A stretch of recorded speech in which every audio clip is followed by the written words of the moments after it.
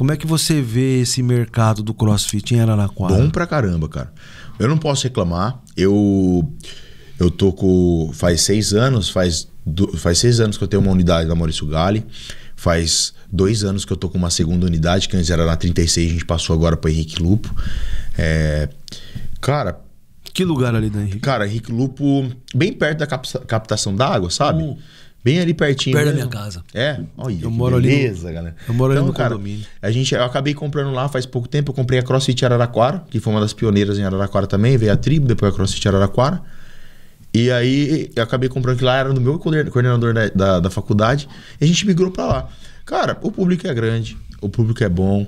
Ele. Hoje eu, graças a Deus, a Tiger, né? Que é ela consegue se, se manter tranquilamente. A gente tem uma, um nível de aluno bom, é, entregar qualidade. Então, em Araraquara é muito bom, cara. É muito bom de verdade.